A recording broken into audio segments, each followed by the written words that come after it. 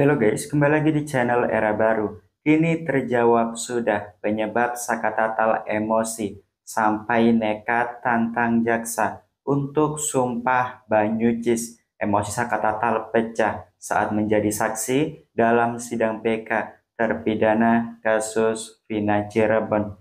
Mari kita saksikan beberapa video berikut. Yang ada apa ini mulia? Izin. Mohon maaf yang mulia, ada apa yang mulia? Bentar Pak, kita gantian tanyanya Pak. Enggak, gini aja ya, tutup poinnya. Saya mah udah nggak mau ngomong panjang lebar. Berani enggak? Sumpah Bang Cis. Yang mulia, izin yang mulia. Saya bertanya dengan baik. Bentar Pak. Ya, jangan ngadapnya ke sini Pak. Jangan terpancing emosi karena kita sama-sama menghormati jalannya persidangan ini. Kita tidak mencari salahnya siapa-siapa di sini. Ya, kita mencari kebenaran di sini. Ya, itu mesti saudara pahami dulu. Ya, Pak. Bisa bisa tenang. Sebentar. Iya, Izin yang atas dasar apa yang mulia? sebentar. Belum pernah dipertanyakan. Baik. Ini korban Izin ini kita pemeriksaan PK Hadi, bukan pemeriksaan Sakatatal. Izin yang mulia. Kita membuktikan Hadi, makanya saya kembalikan ke jalur ini kepada Hadi. Baik, Baik. sebentar. Masing-masing tolong dijaga ya semuanya Izin yang mulia.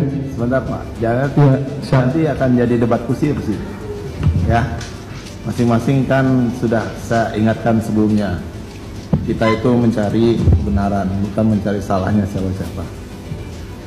Ya tolong dipahami sejauh itu. Baik dari termohon masih ada pertanyaan? Eh, kami ingin dicatat yang mulia bahwa di persidangan dalam putusan perkara akuo sudah dicatat bahwa saksi Sakatatal membantah seluruh keterangannya. Kemudian berkaitan eh, dengan pendampingan hukum telah dilakukan kepada teman-teman Hadi CS. Seperti itu yang mulia dan sudah dipertimbangkan. Cukup? Cukup? ada Ya. yang pertanyaan yang lain Dari- Cukup dari kami yang mulia. Ya. Siap. Bapak masih ada, Ada pertanyaan sedikit satu ya Pak. ya. Ketika diperiksa di Polres tanggal 31 atau tanggal hari berikutnya, apakah pernah diberitahu bahwa Anda disangka kasus pembunuhan berencana, perkara pasal pembunuhan berencana atau pembunuhan? Nggak tahu sama sekali. Apakah pernah disampaikan apakah Anda berhak untuk didampingi penasihat hukum waktu itu? Jadi kalau penasihat hukum awalnya emang ada, namun saya tidak pernah merasakan dan didampingi sama sekali. Pada saat tanggal 31 diperiksa, apakah ditanyakan apakah mau didampingi penasihat hukum ketika itu? Di situ saya nggak tahu, di situ malah saya yang ada siksaan terus. Siksaan terus. Artinya tidak pernah ditawarkan penasihat hukum. Iya. Masih. Tambahan sedikit majelis. Jadi tidak didampingi juga oleh wali dan bapas dari awal dari penyidikan. Iya. Hanya pada saat proses pengadilan saja. Iya. Oke. Sama yang keberatan tadi majelis soal dipukul hakim itu mohon jangan berulang lagi. Ya, kalau ya pertanyaan itu karena dari awal itu disampaikan terus. Kalau JPU-nya saja bilang hanya dipukulin JPU masih nggak apa-apa. Itu Ini terkait dengan Miranda Rule izin yang mulia ya, bahwa jadi jangan mereka ulang-ulang soal siap dipukulin hakim. Ini Kami sangat menghormati siap. majelis hakim. Terima kasih. Semua hak-hak mereka telah diberikan. Terima kasih yang mulia. Cukup dari kami. Ya, mungkin lebih baik ke depannya diganti pertanyaannya. Apakah ada pertanyaan apa apakah ada kekerasan yang dilakukan selama persidangan? pada saat persidangan yang saudara saksi dihadirkan sebagai terdakwa. Apakah dihadirkan pula saksi yang memberatkan saudara dan yang meringankan saudara apakah dihadirkan juga Yang memberatkan itu tidak ada sama sekali, namun dibacakan. dibacakan keterangannya. Iya. Jadi tidak ada saksi yang dihadirkan di depan persidangan. Ya, kecu- terkecuali saksi saya yang melihat saya, saya waktu di rumah Sadikun sama ke bengkel. Itu berarti saksi, saksi yang meringankan. Iya, Itu dihadirkan, iya, nah, baikan. diabaikan. Siapa yang mengabaikan? hakimnya langsung Hakimnya. Iya. Kemudian pada saudara saksi memberikan keterangan yang saudara saksi membantah apa yang didakwakan jaksa, apakah saudara saksi diberikan kesempatan untuk membantah atau tidak? saya sebenarnya tadi sudah membantah namun tetap diarahkan sesuai BAP Yang mengarahkan hakim hakim. Baik. Tadi saudara katakan disiksa, ya kan, dipukul, ditonjok, ya kan, dikasih balsem dikasih ah, balsam. iya Apa itu balsam? dari mata sampai ke alat kelamin yang lain juga sama Balsam dikasih ke ada alat kelamin kamu. iya Gua menggelepar dong. itu posisi waktu di dalam sel Jalur saya. Ke mata juga ada. iya Siapa yang melakukan itu? itu disuruh sama polisi kalau nggak mau disiksa lagi jadi terpaksa mau nggak mau terus juga sama cabai kering ke alat kelamin Di alat kelamin. nggak mau nggak mau terpaksa harus ngikutin kemauannya oknum kepolisian Jadi kamu di, dibuka baju, ditelanjangin gitu. itu ya jadi nggak ditelanjangin jadi posisinya kan waktu pertama ditangkap kan pakai celana panjang di situ celana panjangnya dipotong Dipotong. Terus? Ya. terus ada besoknya ada keluarga ngejenguk tapi nggak bisa ketemu cuma dititipin aja jadi pakai itu caranya masukkannya gimana?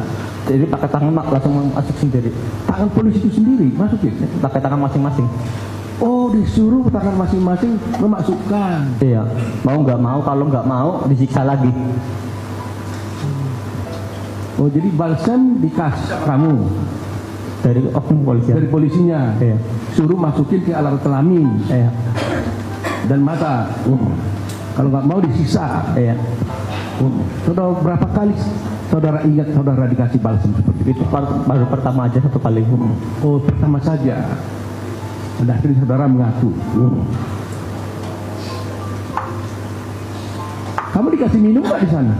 dikasih kasih minum juga air kencing yang satu liter gede itu diputerin ke semuanya kalau nggak mau disiksa lagi se- sebelum diminum air kencing itu disiksa dulu Kepada mereka juga dikasih itu. Iya.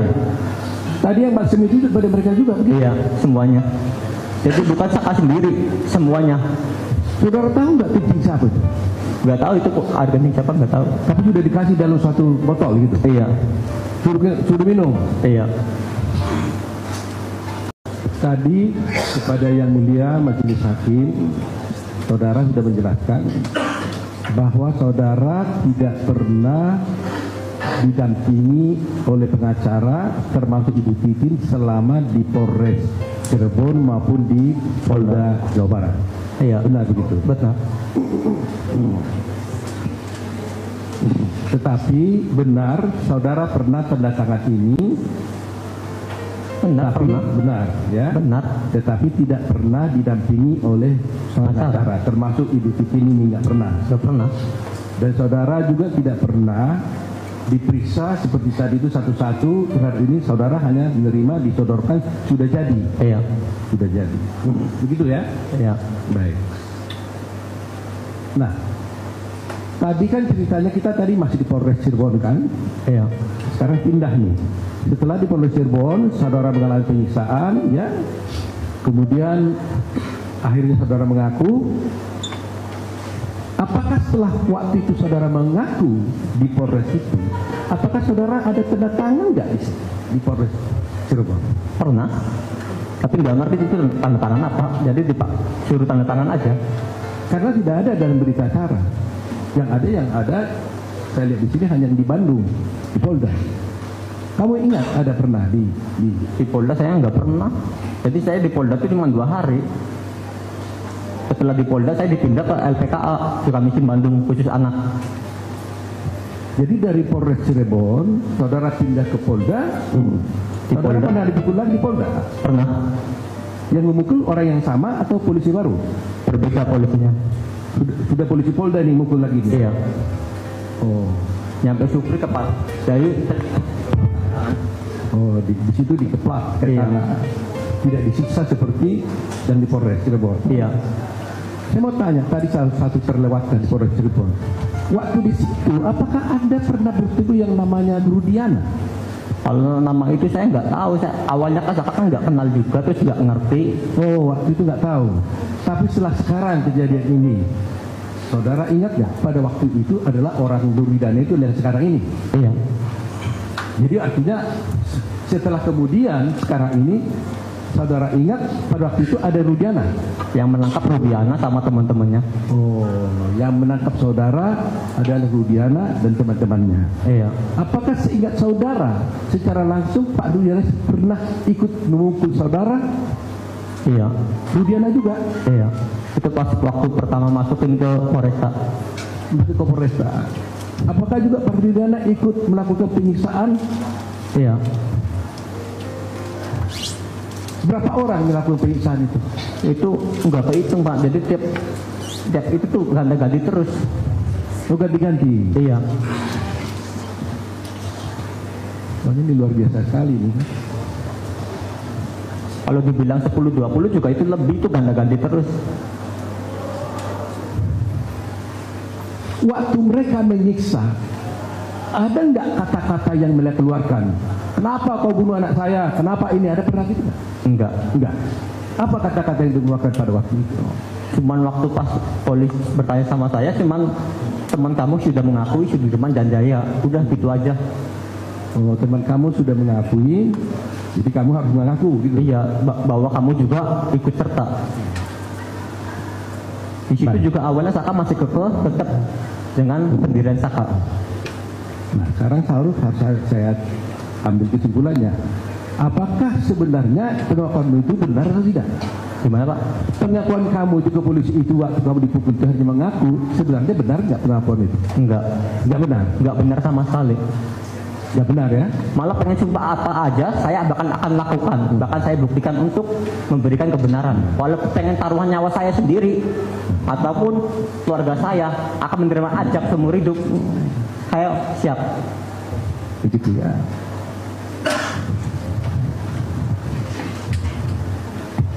Baik, setelah Anda di Polda, kemudian berarti saudara dibawa ke pengadilan.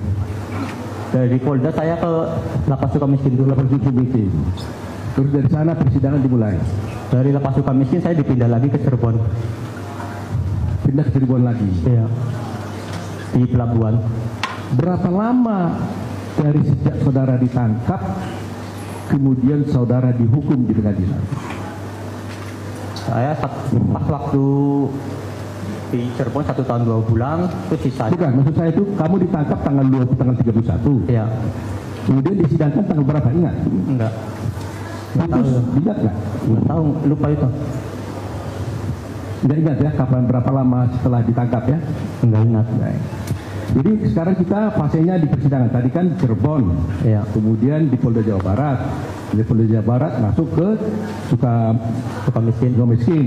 Dari Sukamiskin masuk ke Cirebon. Cirebon langsung persidangan. Dari Cirebon baru persidangan.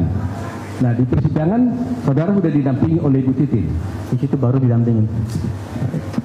Nah waktu di persidangan itu kan ada hakimnya. Hakimnya seperti yang mulia sekarang ini nggak pakai baju gini, Beda.